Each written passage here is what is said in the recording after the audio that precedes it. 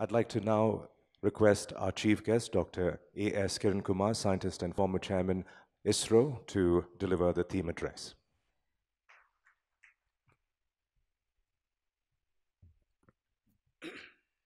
Good morning to all of you, dignitaries on the dais, and members of the IESA, and all the participants of this uh, two-day event where Uh, IESA is trying to bring in both the space segment and the defense segment into focus and look at what can be done and how we can move ahead. As you have been seeing that India is making rapid strides in the space activities where space is becoming a new frontier and space as a new frontier is attracting the attention of a large number of entrepreneurs across the globe.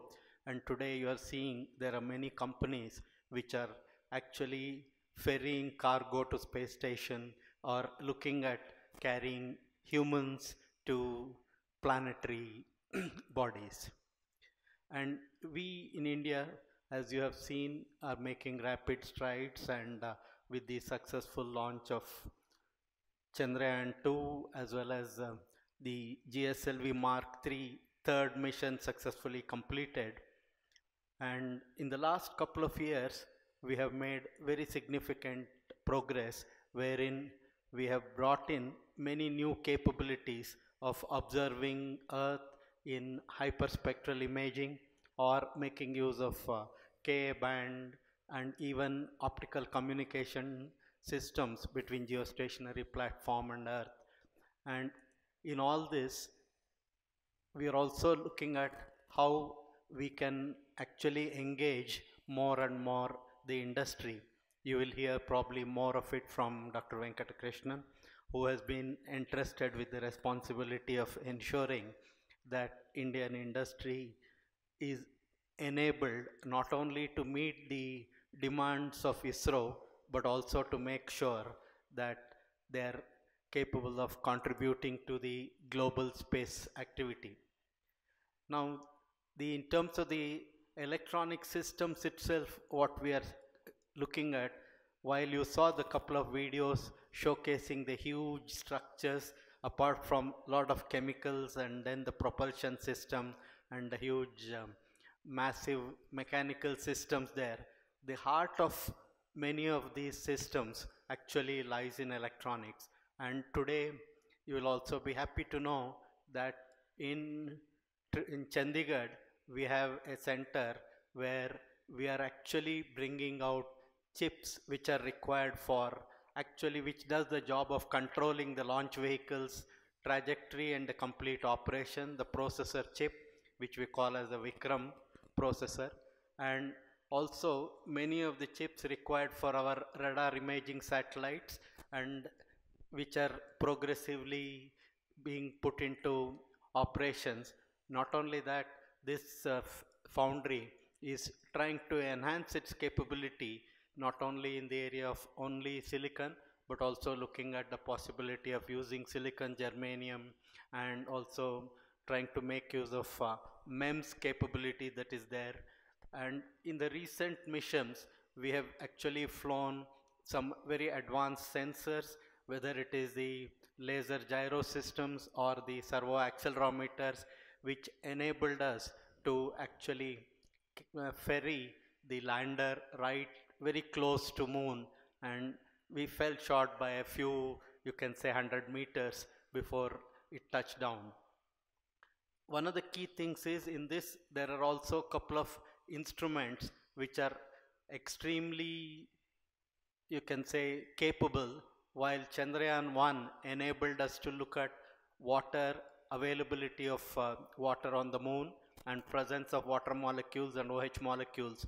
In Chandrayaan 1, we had carried instruments which were from USA, what was called the M-Cube or Moon Mineralogy Mapper and a mini-SAR, whereas in Chandrayaan 2 orbiter, we have advanced and improved versions of this. One of them is called the spectrometer, IIRS, that imaging spectrometer. Another is a dual frequency SAR, synthetic aperture radar.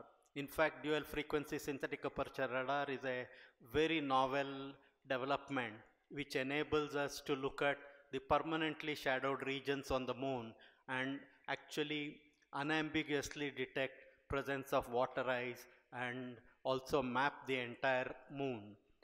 The same development actually the point of telling is earlier for example when we were doing this um, SAR development the interaction between ISRO and uh, NASA today we have a program called NASA ISRO Synthetic Aperture Radar where we are collaborating together and by 2021 the launch of this satellite will enable mapping of the entire earth to few centimeter level variations on the surface it can detect. Today ISRO also has come out with an X-band SAR which is about 5 to 6 kg in weight which can be flown on either drones or on the aircrafts.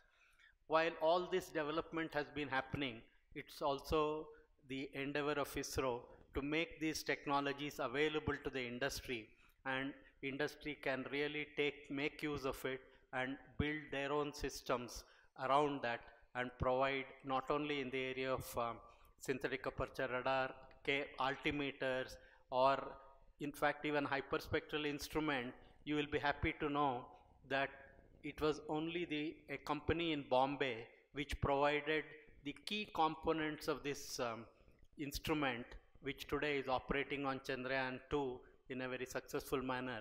And these particular gratings specific um, fabrication technique which was adopted and provided by the Indian industry.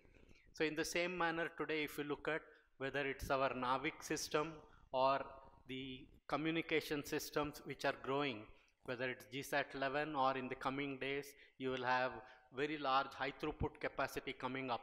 All of this requires significant amount of electronic subsystems and systems to be realized and today we still depend largely on international sources for many of the communication equipment. And not only that, in terms of geospatial technology, usage of uh, NAVIC and already some of the mobile, one mobile company has already brought out on a mobile the capability of using the NAVIC enabled signals and provide geospatial solutions.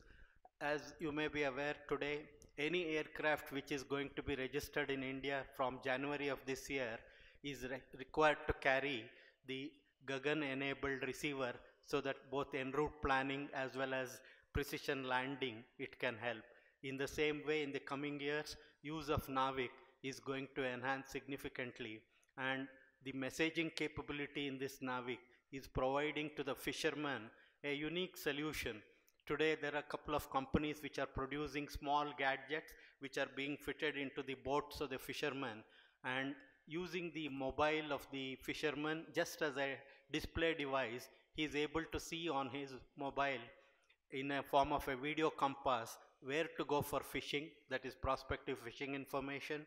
And not only that in his mother tongue he is getting alerts about the weather vagaries that are going to occur in the coming days or if he is crossing the international boundary. And NAVIC also has a unique messaging capability which can make a big impact in Internet of Things and connecting to remote places for commanding is a possibility. So the opportunities are many, but if you look at as the country is progressing today, more and more opportunities are being provided and the government is also looking at how India can become self-reliant in the area of electronic subsystems and components, where in the coming years it said that it's more than 200 billion dollar the actually import that is going to occur. If we have to make a huge impact on that it is like what Jitendra said it is for our next generation to really capitalize on the opportunities available. And as he really pointed out the youthful dividend of the country, if it has to make an impact, we need to encourage more and more of them. And I am extremely happy to see that this particular event is actually bringing to focus about 30 startups and then providing them opportunity to showcase what they are doing. It's only when we do more and more of this, provide more opportunities to them, and also make help them in succeeding that we can not only capture the market within the country but also capture substantial portion of the international market. And it is here that associations like this can make a huge difference. I would like to call upon them to look at ways and means by which they can enable the next set of entrepreneurs to actually look at newer opportunities of making use of uh, electronics, which is, as you are aware, is the heart of any intelligent processing system. And with the today's AI, machine learning, and the likes of uh, using intelligence to solve the problems is becoming more and more order of the day. It's only when we enable them by providing appropriate opportunities by, like what was said, setting up the infrastructure in the country which makes use of that.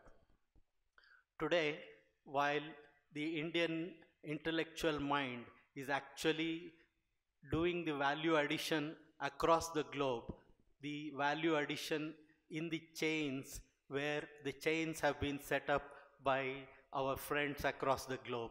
It's only when we ourselves establish this chain that we can really take the advantage of the true intellectual capability of the Indian minds.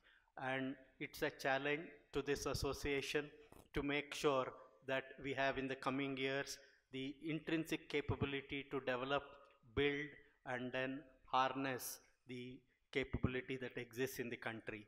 So in the end, let me take this opportunity to compliment IESA for bringing together a set of new entrepreneurs and then showcasing to them what exists and also challenging the entrepreneurs here to make their impact not only within the country and globally.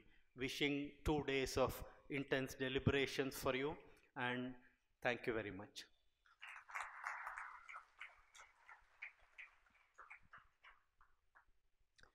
Thank you very much indeed, Dr. A. Kiran Kumar, for the theme address and for those encouraging words.